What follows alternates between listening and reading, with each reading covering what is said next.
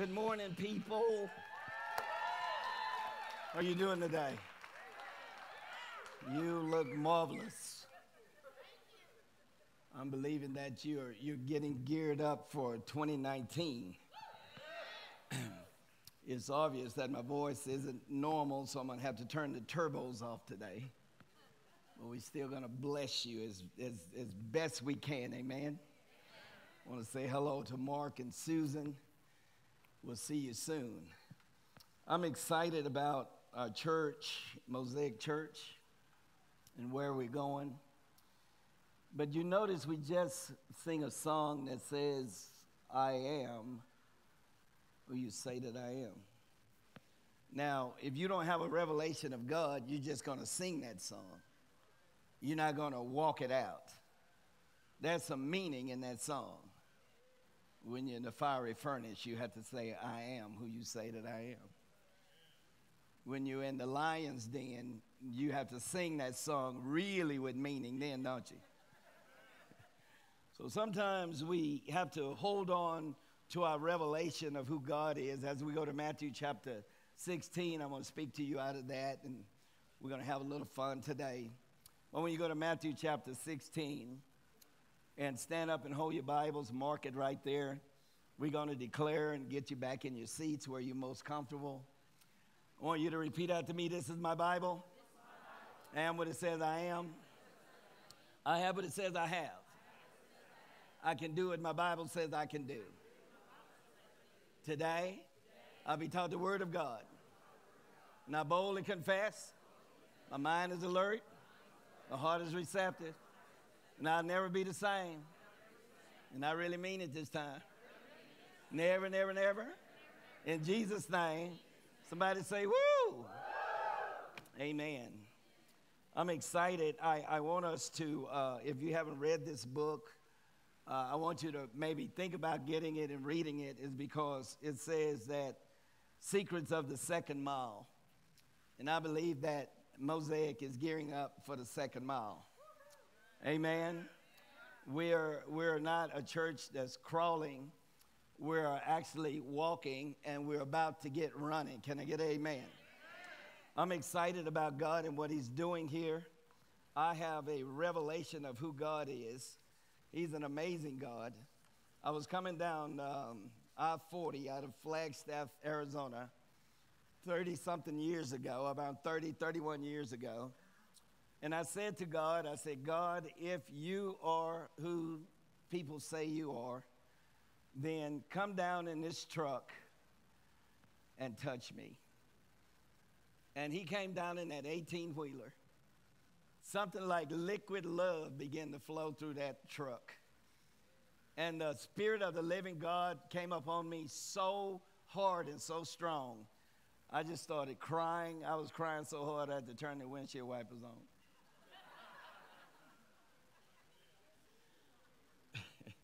So I just started crying and weeping. I said, God, who is this person that my wife and my children are running around talking about? I want you to reveal yourself to me as you have done them. And he did that in that 18 wheeler. And my life has never been the same since. And I've been able to share that feeling with other people. The Bible says, Taste and see that the Lord is good. People are not going to know about your revelation of who God is in your life until you tell them how good God is and what has happened to you. And so I want my sister right here to come for just a moment. And I'm just going to ask her a, a couple of questions. This isn't scripted. We don't know what's going to happen. Hopefully, Mark doesn't fire me when he get back. But he knows this lady loves God. Amen. And I was, I went over to give her a hug. Just step up here. I went over to give her a hug. You know how they say, go give her a high five? And I said, Do you love God? And she said, I really love God. And I said, What is your revelation of God? And she began to tell me.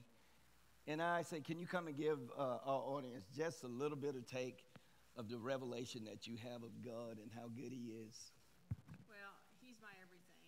He's been my everything since probably 35 years uh, old. when I finally discovered that God is God and really is God.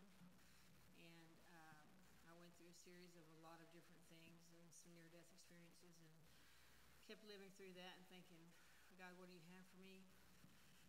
And He had so much, so much for me, so much for me. He's my everything. He's provider. He's he's everything to me. He's always been. He has been my everything since I was 35 years old, and I'm not older than that. Well, a little older than that, as Mark would say, a little older than that. But truly, um, He has blessed my life in so many ways. And eight years ago, we we adopted a child, and God said, "I want you to adopt this child." And I said, "What?" You know, because I am a little older. And he said, I want you to adopt this child. And her name is Abigail. And I knew that the child was a, it was in utero, so I, I didn't know if it was male or female, but I figured it was a girl since she said Abigail. Her name is Abigail Grace, and she's the one that runs all over this place. But she has an extraordinary relationship with the Lord that blesses me in so many ways, and me and my husband.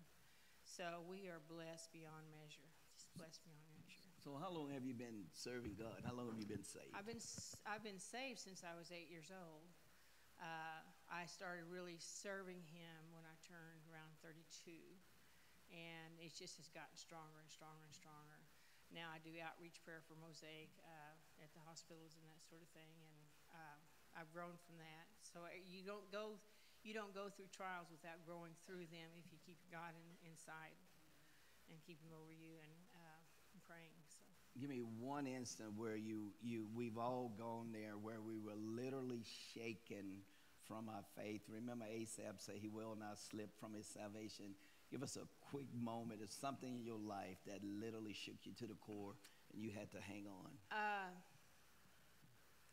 it'd probably be one of the near death experiences because I really wanted to live and uh, really wanted to serve God and and uh, I had been diagnosed. I had been in 107 degree fever for seven days. Um, I didn't realize what I was going through, but I was in a coma. And in the midst of that, and this is kind of a revelation, but in the midst of that, I felt someone putting something on my face and music, and music has always, always uh, has helped me. And it, it was a friend of mine and my, my sister who were anointing me with oil and they got crazy and gave me a facial with that oil.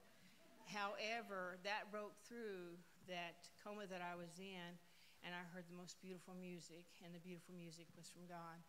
And I lived through that experience. Amen. Let's give her a hand. Amen. Help her down, Brian. Hallelujah. So it doesn't matter if you have been saved one year or since you were eight years old, that uh, suffering really is the pathway to glory. You're going to have some suffering. But in Colossians, it tells us see to it that no one takes you captive through vain and hollow philosophies which depend on human traditions.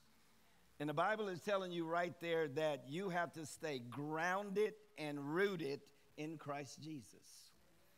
If there is no root, there is no fruit you have to be grounded from the root up. And you cannot let anything get in with modern day philosophies, and everybody has a philosophy today. And we're going to talk about some of the philosophies that they had in the day of Jesus as to who he was as we look at Matthew 16. But we are in a time right now in America where we need to be grounded and rooted in Christ Jesus and not grounded and rooted in a Republican or a Democrat. Because we have not seen anything yet. And so, what I want to do, Pastor Mark has been talking to us about taking the chaos out of Christmas. And I hope you had a good Christmas. I hope things went well because it says that we spent $465 billion on holiday gifts and goodies this year the National Retail Federation estimated that. I don't know how true it is, but I like to look at little things so that I can intro in with what's happening in the world. And if we spent $465 billion, I wonder how much of that went toward our new king. I wonder how much of that went toward Jesus Christ, the real reason for the season. ever since man has been kicked out of the garden, there's been a longing to go back to the presence of an Almighty God. Ever since we've been kicked out of the garden, there's been a longing to go back home. There's been a longing to have someone that, that, that, that's uh, our king, our guide, our leader. We, has been a longing. And I remember the times when Jesus went back to the temple. He went back many times, but I'm reminded in Luke that when he was 40 days old, he went back to the temple for the purification of that time. For a kid that was 40 years old, Mary had to take him back to the temple when he was 40 days old for purification. And my Bible tells me that during that time, out of all the people that were in the city, it was only two people that had a revelation of who he really was, and that was a man by the name of Simeon and a woman by the name of Anna. The only two people that seemingly had a revelation of who he was. And when Simeon came in and he saw Jesus, he picks him up, and I could see him walking around in the temple with little Jesus in his arms. And he looks up to heaven and he says, God, you made me a promise that I would not leave this world until my eyes had seen the consolation of Israel. And he was walking around with little Jesus, and he says, I now have a revelation of your salvation. How many of us can say that today that you really have a revelation of who God is? He was so engulfed in holding little Jesus that he said, You can take me now, I'm ready to go. He said, Lord, dismiss me, I'm ready to go. And then he looks at Mary and Joseph and he says, This child is going to cause men and women to rise and to fall. And I want you to think about Jesus in the middle of two thieves on the cross. One on the right side, he gets it now. Jesus is going to cause him to rise. He said, Father, he said, Jesus, remember me when you come into your kingdom. And Jesus said, This day you shall be with me in paradise. So, in other words, there's one man on one side of Jesus who gets a revelation of who he really is and there's another man on the other side of Jesus still laughing and saying, Hey, if you who you say you are, get us down and yourself too.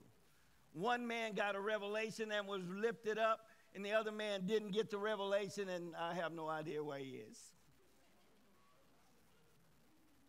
You know, you'll get called in if you say somebody went to hell nowadays. So one man was raised and one was one was one went down, I guess. And then he looks at Mary and he says to her, and not only that, he is going to cause the piercing of your soul. How many of us know that if you lose a child, it pierces your soul?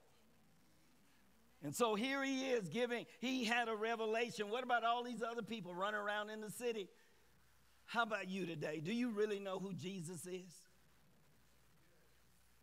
Do you really have a revelation when things are not going good who Jesus is? When you are headed to the lion's den, do you know him? When you're headed to the fiery furnace in your life, and trust me, there are going to be some fires in your life where they're going to be heated up. Somebody's going to walk off and leave you. Your kids are not serving. You don't have any money in the bank. Lions and tigers and bears, oh my. Will you really know who He is during those moments? You see, we can all quote scripture, but how many of us are really living it? I am the head and not the tail. That's beautiful. But are you really meaning that? If God be for me, who can be against me? We don't want to just quote scripture in 2019, we want to live it. We want to have a firsthand revelation of who God really is. And our King is still the King of Kings and the Lord of Lords. He's still a healer, He's still a provider. And I was thinking back in 2012, they went and exhumed the body of King Richard III, who had been dead for 533 years. They had been searching for King Richard. And finally, they found him under a parking lot in Leicester, England. They exhumed his body, did DNA, and said, Woo, this is our king. Only to have to go and rebury him. Now, I'm glad they gave King Richard a celebration. $3.7 million. of phone, they started to email and call around the world. $3.7 million was raised to find their king. And I'm going to tell you something right now. If you're not tithing and offering, it takes money to lead people to that king. Now, I just threw that in my notes. The pastor didn't tell me. Amen. That was a time in my life when I really wasn't doing very good as a tither. And Brian Thomas, he taught me how to tithe. Brian did. And I thank God that he did because the blessings of God are yea and amen. And I remember years ago, 25 years ago, Jesus comes down into the Spirit of the living God, comes down into my workplace. And he says to me, Get thee up in their flock and go into Oklahoma City. I get up, I had one wife, three children, one cat, and three dogs. And I had them in all my stuff in a borrowed trailer. We looked like the Beverly Hillbillies coming across there. But I heard God. And when I crossed the Oklahoma state line, I heard God say these words in the spirit expect more now than you ever had. You see, out of your obedience is when you is when God rides with you. You got to give him something to work with. If you don't have anything to work with, what, what does he have to work with? You just run around. You know, I've heard people tell me, well, Pastor, I'm going to have to leave you. I'm going to pack out stadiums. I said, well, I thought Joyce Meyer was doing that. She's doing okay by herself. Where, you know, and you don't hear from these people anymore.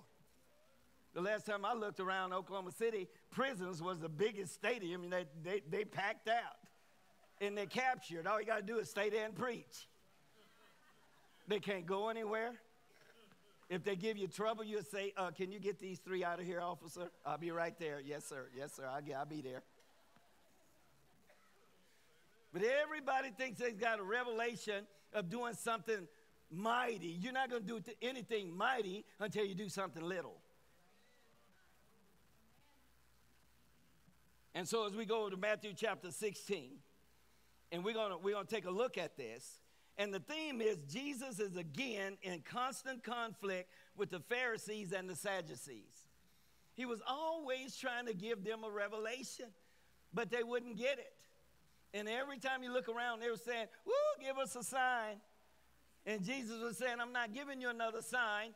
Just as Jonah was three days in the belly of the fish, so shall the Son of Man be in the, in the, in the midst of the earth for three days. That's the only sign you're going to get. And the Pharisees and the Sadducees, they were not buying into that, and they continuously asked Jesus for a sign.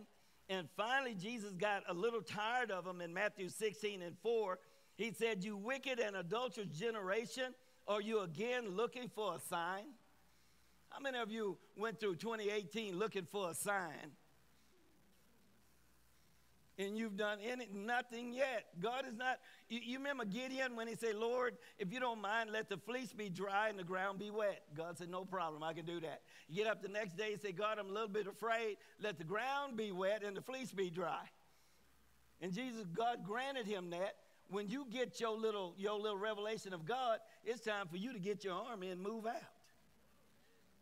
You can't just continue to sit there waiting for God. God is waiting for you. It's time for us to, to get busy. And, and here they are asking for a sign. And Jesus tells them, He goes, How is it that you can look to the sky and determine the weather, but you cannot even determine the end of the times? How can you determine the weather forecast, but you cannot determine the forecast of the end times? If you really want to know the end times, go look at Second Timothy. Say, men will be godless in the last days, lovers of themselves and pleasure rather than lovers of God. If you think we're not in the end times right now, but what I want to do now is talk to some end time people that will get a revelation and that we can build and we can move and go and do the things of God. You're never going to get a revelation of who God is until you get a revelation of, of who you are and what he wants you to do. And so, as we look at Matthew today, we're going to get all kinds of opinions about who God is. Y'all remember when, when they took Jesus to the temple at 12 years old? They took him there when he was 40 days old. And then Mary, t- she would take him back every year up to when he was 12 years old. And the Bible said that he was left behind by his parents. You see, they would have put Mary in prison back if she was here now and left her kid back there. Child abuse. But they left Jesus behind, and the Bible says that Jesus was over in the temple talking with the teachers, and there he was trying to reveal himself to them, but they could not get a revelation. And maybe it went something like this. It says, study shows that he astonished the teachers and he puzzled the doctors and the lawyers in private settings. Maybe it went something like this. Jesus trying to reveal himself. Maybe it went like this. Hey, young man, you with all the light shining around your head, what is your name? On my mother's side, they call me Jesus. But on my father's side, they call me Emmanuel, which means God with us. Well, young man, how old are you? Well, on my mother's side, I'm 12 years old. But on my father's side, I'm as old as eternity's past to eternity's future. You're a weird little fellow. Where you from?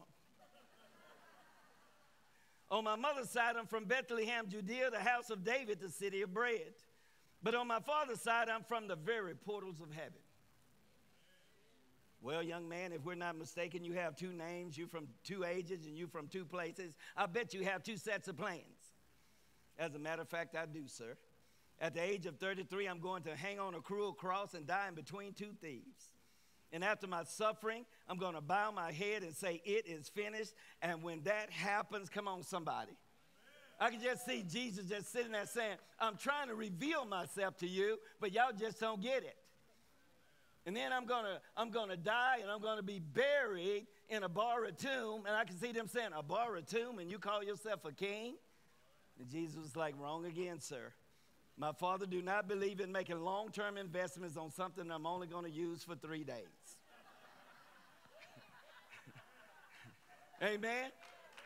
And he's, he's trying to reveal himself, but they're sitting there, they don't get it. Finally, Mary comes back, grabs him by the ear, and yanks him out of there. And so now I want you to go with me to, to uh, Matthew chapter 16, and we're going to start at verse 13. And I want to show you something that even Jesus had to stop in the middle and make sure that his disciples had a revelation of who he really was. Because he had already somewhat rebuked him because he said, I want you to be aware of the leaven in the Pharisees and the Sadducees. And at that moment, they thought that Jesus was talking about bread. Jesus was not talking about bread, he was talking about the leaven, which means evil or which means false doctrine. He said, I want you to be aware of that so that you don't lose your revelation. How many of you know that if you hang out with the wrong people long enough, you'll lose your revelation? This is why I monitor my kids. I remember when my daughter came home from college, I realized that she had been hanging out with the heathens. And she told her mother, her mother was saying something to her about spiritual things. And my little Danielle, she says, Oh, mother, that's just something somebody else said. And I wanted to look at her and say, You know what, with your little broke self? Why didn't you say this when you left here with our car and our money and our phone? You see, you gotta, you gotta be careful on who you hang out with. You'll lose your revelation. So now Jesus has had enough of his homeboys, and so he sits them down in Matthew 16 and 13. And Jesus had really had enough. And when Jesus came to the region of Caesarea Philippi, he asked the disciples, Who do people say that the Son of Man is? He wanted to get the, the opinion of the people. Who do they say that I am? And they replied, Some say John the Baptist. How'd you like to be in that on that on your resume?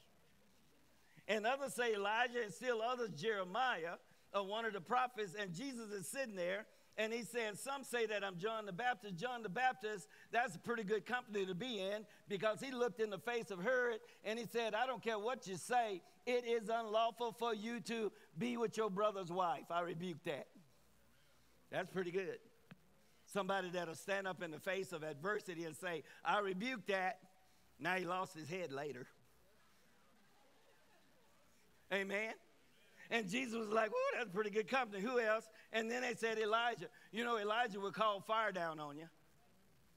And Elijah was sent to a king, and he told the king it's not going to rain for three and a half years except at my word. Hand, hand, see you later. I'm out of here and he runs off, and the whole nation is looking for this man because he's got that kind of power. And Jesus was like, okay, who else? And they said, some say Jeremiah. I'd like to be in the category of all these people. And say Jeremiah was the one who was to send a scroll to this king and the, the, Lord gave Jeremiah the do's and don'ts of that year, of that time. He said, Tell the king, don't do this, don't do that. He better do this. And if you don't do that, he's not going to have anybody in his lineage that's going to follow after him. And he writes all this stuff and he sends it to the king. And Jeremiah just like any other preacher. You're thinking that's your best sermon. And Timmy, he sends that to the king, and he's sitting by the fireplace. And the, every time they would read, he'd cut it off and throw it in the fire and burn it up. And so when he gets back, the, the, the guy comes back, he says, Baruch says, hey, Jeremiah said, what did he say? What did the king say? He said, settle down. He burned that. Jeremiah goes back to the Lord. He's not like all of us. He had a revelation. He said, if God said it, I believe it. He said, Lord, what do I do? And the Lord said, if you have another big pen and a piece of paper, write it again. That's what we need to do in our lives. Once you got a revelation, you got to write it again. When I came into Oklahoma City, when I heard God say, Get up and go to Oklahoma City, you think the devil was going to just let me ride in here and be happy? He been messing with me ever since I got here. 25, almost 26 years ago, he been all up in my business. He brought sickness to my wife. He's got, he's, he tried to destroy my children. He's just tried to destroy everything that he can about me. That's what he does. He comes to disrupt the revelation that God has given you. Don't you know that the devil tried to di- disrupt Jesus in the wilderness when he said, If you're this and if you're that and if you this, if you're the Son of Man? And Jesus said, Hey, away from me. Anytime you get a revelation from God, you got to hold on to it because the enemy will take it away. And Jesus replied, uh, some said uh, Jeremiah and other, other prophets. And I like what Jesus said. He said, Hold up. What about you? Who do you say I am? That's the question today. I'm not running off of the fuel of my grandmother anymore as I rode in to where I am today on her dress tail and my mom's dress tail and my, my great auntie's long dress tail. They wore dresses so long back then, you didn't even know women had ankles. See what they walking on. Uh, but it was them, Timmy. They, they were revealing to me who God was.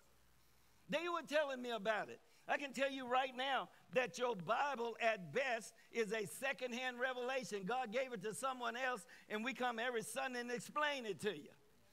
This is a Logos word. You need a Rhema word. A Rhema word means it's hot off the press for you, by Him, for you. Can I get an amen? That's what America needs today. We need a Rhema word from God for our country right now. And we need somebody to stand up and say, enough is enough. We're going back to the principles of our God.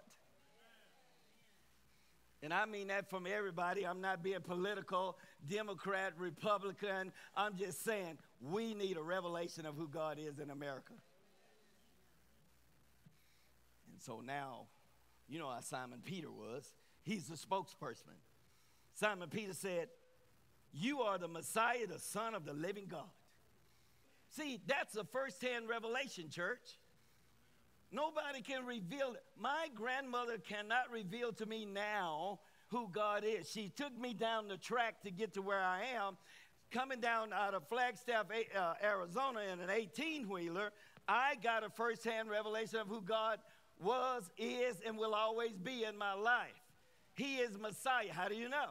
I invited him down into an 18 wheeler, and he came down in there and he took control of my emotions. And I now have a first hand revelation of who God is, and all the devils in hell can't change that. When I'm in the fire furnace, he's still God.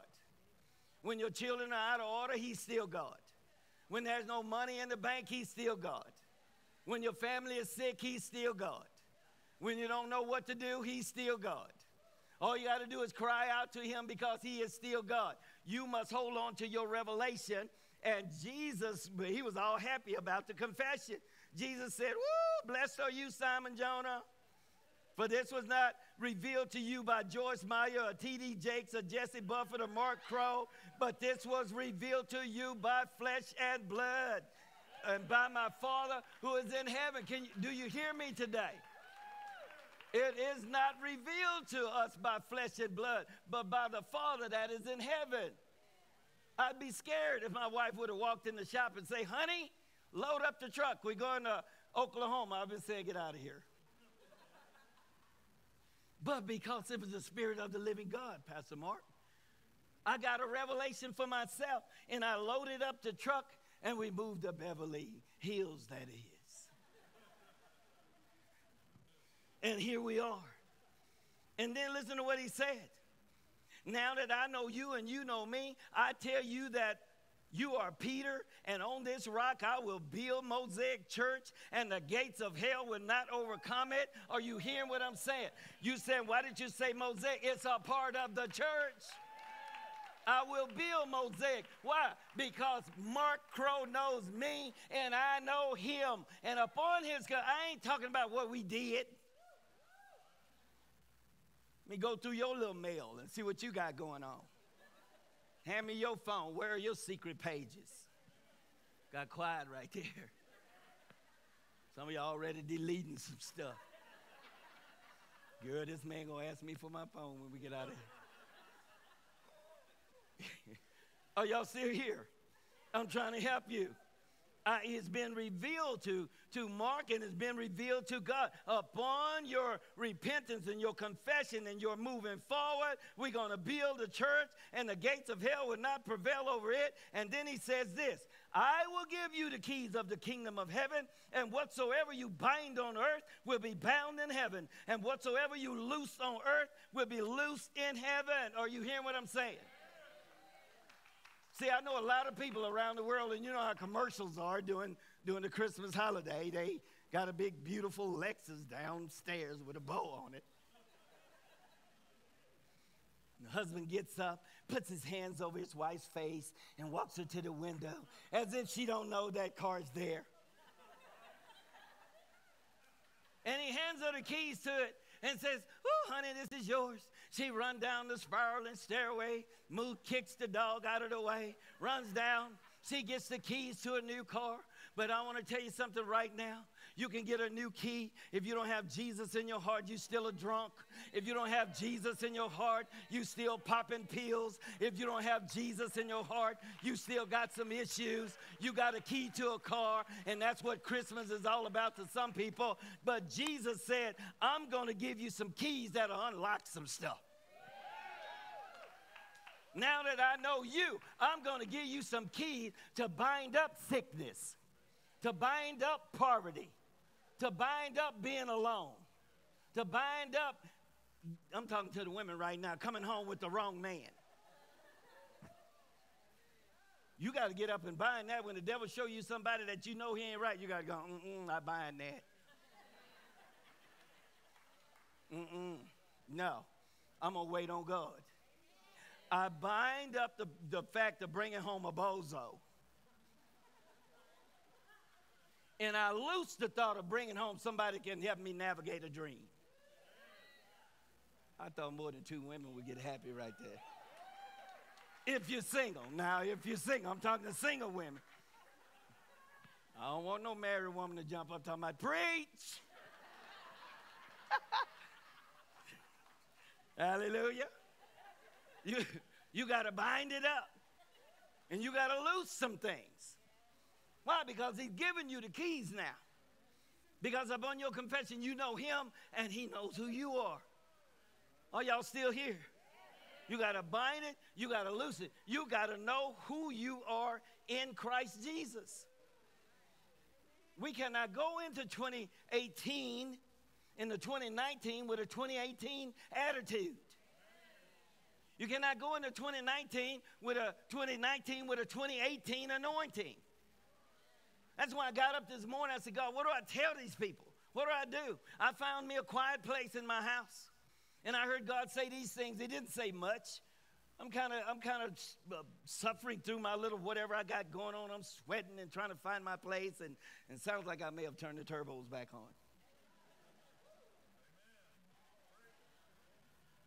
But here's what you got to understand. He said this to me. He said, Son, many are called, few are chosen. Many are called, but few are chosen.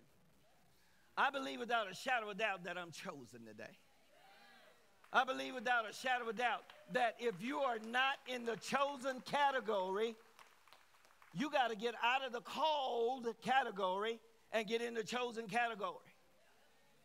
And my grandmother always said this she said, Son, there are some that just went and some was sent. I believe that when God gave me a revelation in, in, in New Mexico, that I didn't just win. I believe that I was sent. And I have tried to, I have had to fight and stay down in the saddle for more than an eight second count. This thing is for a lifetime. It's not for one day, one week, one month, one year. It is for a lifetime. You got to stay down in the saddle and you got to tell the devil, I will ride you till your tongue turn pink. Why? Because greater is he that's in me. I don't have to drop my revelation because of what I'm going through. And that's what I want you to take with you today. I want you to take out of here that you are who he said that you are. You need to get up and walk in it. We're not going to be a church with a bunch of lonely women and a bunch of lonely men. We're not going to be a church with a bunch of perverted men. We're going to be men of God. We're going to be righteous men. We're not going to be a church with a bunch of perverted children. We are going to speak life to our children. If we have to go in there and just yank the cell phone out of their hand, just say, Give me that, it's mine anyway. Train up a child in the way he should go. And when he or she is old, they won't depart from it. My grandchildren, and I'm going to close in a minute, my grandchildren just walk through the house like it's theirs.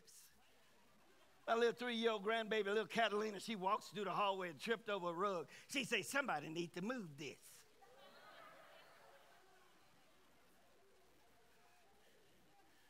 And when she said that, I went right to my rap song. I say, be quiet. Be quiet as a mouse. I wonder when you're going to get your own dang house.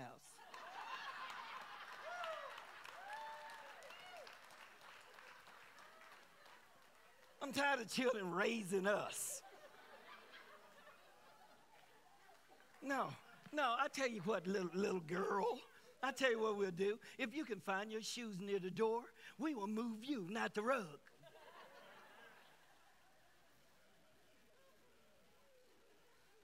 Trying to raise us. We got to go back to the basics. Do we love God today? Do you really love Him? Stand up with me. I want to pray over you today. I'm, I'm, I'm, I'm, I'm, I'm sweating it out today, but I love people. I want to see you. In, in, in the prison system, we got 105 leaders that we've already raised up. 105 out of 1,400 women, and we're going to get the rest of them. And I mean, the, the devil don't fool around with our leaders behind walls. You know how you tell somebody who wants to, just like I was reading, who wants to curse some things and bind some things? They don't really know behind the walls what the Word of God is. And one woman say, I know how to cuss. I say, don't give her that microphone. But they raise up, they get a revelation of who God is. Stretch your hands toward heaven. Come on up, Pastor Mark. I'm going to get out of the way. But Father, I pray. I pray over this generation of people in this house that we are not wimps And we're not going to change our emotions because of what we're going through. We're not going to change our revelation because the devil is squeezing me in the fiery furnace. I'm going to say, it doesn't matter. I will not serve your God whether you throw me in or not. Even when the lions are roaring around you, you got to keep your revelation of who you are. When people give up on you, you got to keep your revelation of who you are.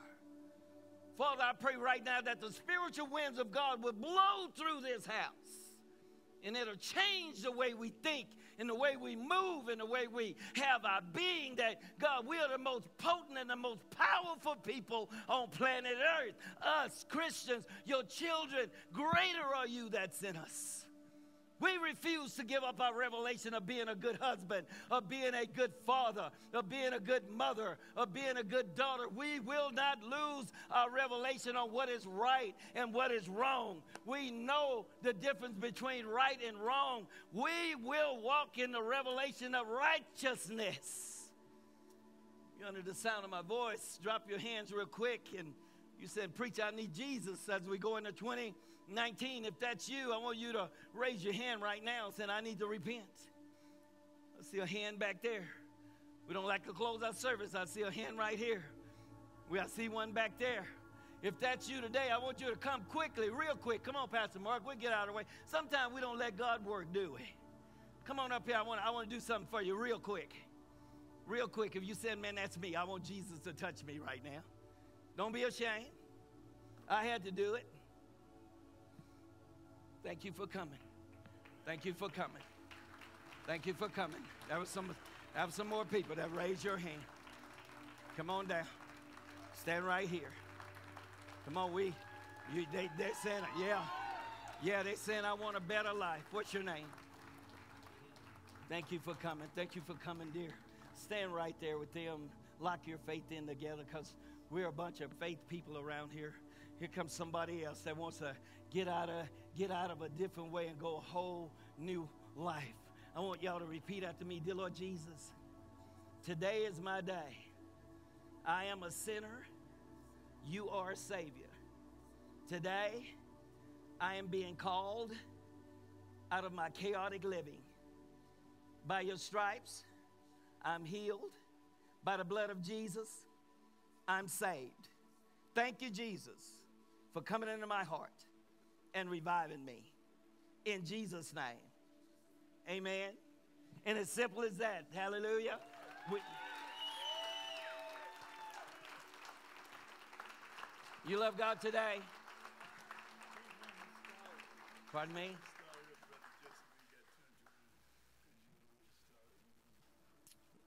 Father, we just thank you, Lord God, by the power and the authority of the Holy Ghost. Father, you reach down to children, Lord God. You said, Such as these, let them come unto you. And Father, he's come today.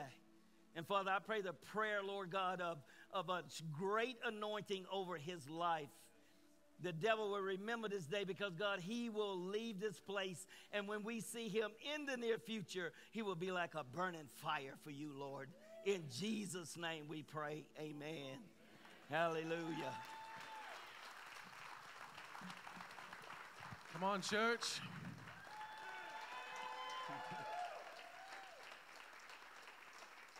You guys can have a seat. Right now, we're going to take our tithes and our offerings.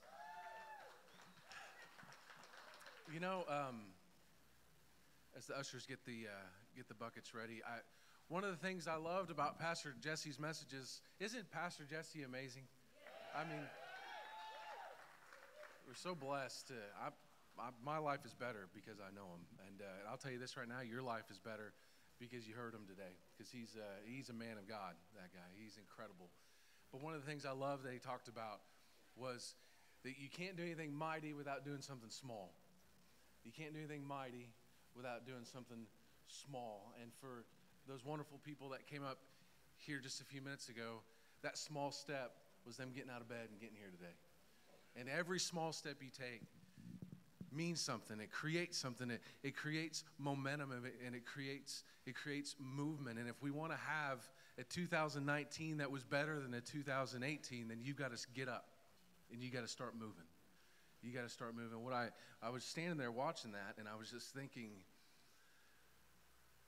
this room should be so much fuller of people that need to hear something like that, that need to experience something like that. I, uh, we were watching the football game yesterday. Yeah, I know. Sorry. And we were at this, uh, we were at this watch party, and, and there was this guy there, and about halftime we kind of stopped watching the football game because it was so awesome and uh, and this somehow church came up. Some of my friends were there, and they'd come to the Christmas thing, Christmas services the past couple weeks, and we are just kind of talking about it. And and this guy's a really nice guy. I really like him. Uh, he's Irish, I'm Irish, and so kind of have this. I don't know. He's like super Irish, so he really likes that I'm Irish. And we, we were uh, we were just kind of talking, and he said, "Well, I don't I don't like organized religion." And I said, "Well, that's cool because we're super unorganized here at Mosaic Church. You should you should totally come. But, but, and, and, and I know that that conversation sometimes goes a different route, right? Now you want to talk about what do you, well, I think this and I believe this. And if, if you don't believe that, then I, then, you know, if you don't, then I wills and all that kind of stuff. And, and it didn't go there. It was just, why don't you, why don't you come check out our church? Why, why, why don't you come and sit in here and, and, and it doesn't matter what you did last night. It doesn't matter what you're planning to do tonight. It doesn't matter what kind of past you have, what kind of baggage you have. I don't even really care what you believe. Just get here. And let Pastor Mark speak joy over your life. That's what changes things. It's got to start with joy, it's got to start with hope. And it's not about us coming in here or any other church, it shouldn't be any other church in America telling you what's wrong with you and, and what you what you haven't gotten right and what you, what you haven't gotten figured out. Yeah, we, we all know we don't have it figured out. But there's many of us that don't know joy. I don't, we don't need this room filled so we can say this room is filled. We don't need to add another service so we can say, look at us. This is just fine. But I'm standing here watching this and I'm thinking, man, it's just not enough. I mean, do we want a 2019 that we just make it? that we, we have enough, that we've done enough? Or do we want to go look back at 2019 and say, this is incredible? Look at all these lives. Look at all this hope. Look at all this joy. Look at all these messed up people that are told it's okay. It's okay. And your friends are okay. And your, your family's okay. And just get here. And it's almost like a spiritual osmosis we're going to infuse life. We're going to infuse life. And, and then I was thinking that that kind of relates that kind of relates to giving. We're, we're, we're, we're about to do our tithes and our offerings. And, and I was thinking about my friend, my Irish, the Irishman. I'll let you know if he comes. And I was thinking, I'm going to have that little twinge, just probably like anybody else does. Or if you're, if you're new to church, if you're skeptical of church, you have that little twinge of, oh, here comes the giving. Here we go. This is what it's all about. This is what they want. They want my money. You know, now's the time, good time to exit. I wonder if there's donuts or coffee out there. I'm going to go check those out right now. But this is where joy starts. Can I just be honest with you? This is where joy starts. This is where hope starts. This is, this is where blessing starts. And this is where the ability for this church to operate. We can keep the lights on. That's not, that's not the issue. You giving is, is as much about you and your blessing and your joy as it is about being faithful. And I promise you, um, a year ago, January, January 1, um, I, I, had a job and, and, and I, was, I was successful in my job and um, I, just, I just didn't like it. I knew it was not where I wanted to be. It's not what I wanted to be doing. I just couldn't stand it. And I made, I decided January 1 of last year that I wasn't going to be working at that job any longer. I didn't know what I was going to be doing. I, I'm a, I'm a dreamer. I kind of have an entrepreneurial heart. Um, I've spent a lot of years just building doors and kicking them in and seeing if it worked. You know, and if it worked, I'll, I'll keep moving. If it didn't, I'd go find another door, build that thing up, kick that thing in, see what happens. So I thought, well, this year I'll just figure that out. I'll figure out that door. But I also figured out in January, I decided I'm going to be faithful in tithing, really faithful. Not, not today was this. This was a good week. I'll, I'll catch up for the other weeks. I'm going to, no matter what, no matter if it's no matter if it's joyful, no matter if it's hard, no matter if it's if it's tight or if I have a lot if I have a lot in my bank account, no matter what, I'm going to tithe. And not only standing in front of you now, not only am I out of that job three months before the time frame that I'd given, you know, that I'd given God, um, three months before I thought I wanted to be out, but now my business partner and I, we've started a business. We are doing incredibly well, so well that we've been able to give away out of our business thousands of dollars just in the past few months. Um, my business partner comes to church, he tithes, and we directly relate our success to that. That's where joy, that's where joy and promise and vision started with us. And it really, for me, it started last, last January. And so now you're stepping to that moment. Now's the time. So, whatever I had everybody put that 2019 goal in your hand, I, I'm telling you right now, faithfulness and joy is where this thing's going to start. Changing the people around you through connection and bringing them here, it starts right now. It starts right now. I want to challenge you to finish 2018 strong, and I want to encourage you to finish or start 2019 even stronger. Are you with me? All right, let's pray. Father God, Lord, we are we're grateful, Jesus, and, and we're expectant that 2019 is going to be a year of provision and blessing and life change and history making movement forward. Father, we, uh, we pray right now over these people. We pray over this, these uh, tithes and offerings, Father, that you would just abundantly bless it, that you would abundantly bless these people, um, and that you would do amazing, amazing things with it. Amen. Real quick before you pass the buckets, let me tell you how you can give, because that, that's a, a, key part that I'm missing. Um, you could text to give 405 546 2226. I have it saved in my phone as just Mosaic Giving as a contact, so it's really easy. Um, you type, type in the word give, you hit the word send, it sends you back a link and you can set it up. And once you're set up, then it's, it's that simple every week. Give, put in whatever you're going to give, and then it magically comes out of your bank account. It's wonderful. Um, if you're old school and you prefer not to do it that way, there's a card, an envelope in the seat back in front of you. You can fill that out. Um, it's the end of the year, so if you'll fill that out, we can help keep track of that for you, and you'll get a um, a statement that'll help you uh, with your contributions for the end of the year. You can write the check out to Mosaic Church. Um, you can give cash, however you'd like to do. There's also, if you miss the bucket somehow, there's there's uh, boxes in the back. You can drop that in. Um, whatever you do, I just encourage that you would that you would finish strong and that you would start start strong. Okay, ushers, go ahead and pass the pass the. I always want to say plates, like I'm in, like I'm I don't, even, I don't want to say what I was going to say. So anyway, they're buckets. Their buckets are coming. They're coming your way right now. Um, if you are new today, we want you to know that honestly, we're not joking around. We, we really do pray for you. We pray for you every single week, every single Wednesday. We pray for you, and uh, we don't believe by any stretch that you're here by accident. We believe that you are God ordained here, sitting here with us. If you're new, we want you to text the word 513. Excuse me. Welcome to 51310 It'll send you back a, a digital connection card. You can fill out some quick information. We're not going to spam you or anything like that, but we, we do want to know you're here. And it's also a way you can type, you can type in there a way for us to connect with you if you need us, okay? Um, you, there's, uh, uh, if you made a decision today to accept Christ, if you want to be baptized, if you've recommitted your life, you can text the word saved to that same number. We'll send you back a link and we want to connect with you. We want to make sure that we're available to you to partner with you in the next steps. And, and you don't have to if you don't want to, but, but if you've made that kind of decision, then, then let us help resource you. Okay, we don't know unless you've told us. We want to we want to be a part of your life. All right.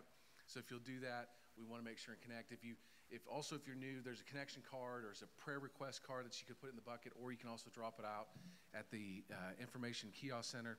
Um, if you're new, we've got a small gift for you, and we, we really do want to connect with you. So uh, we love you.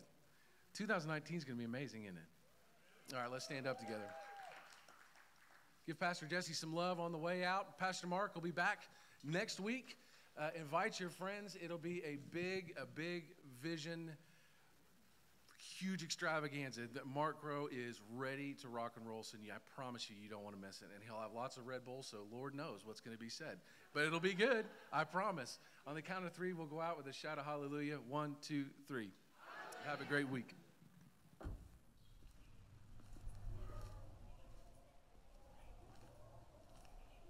Man take a walk down by